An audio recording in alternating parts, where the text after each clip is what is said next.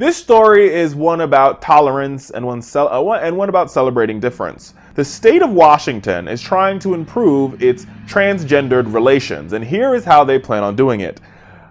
A law has just been passed by the governor, uh, by Governor Inslee, or Inslee, excuse me, rather. And what this law would this law would get rid of, it would ban 40,000 words from the state's laws, from the state's forms, from the state's you know, t- filings, this, that, and third, all of the state's official language.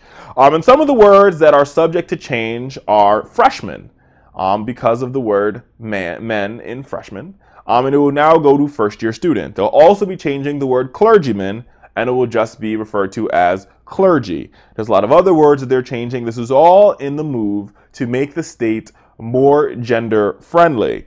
Um, and this is not the first part of the world that's done this. In France, they've banned the word mademoiselle um, from their from their state official documents and from their government documents, indicating that that terminology forces one to identify their marital status, and that's not only unfair.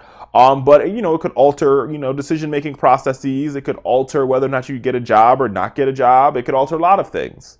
Um, so this is great, great news as we move on making our country and our world um, one that celebrates different and celebrates difference and not condemns it. So congratulations to the state of Washington, who is following in the footsteps of the great nation of France.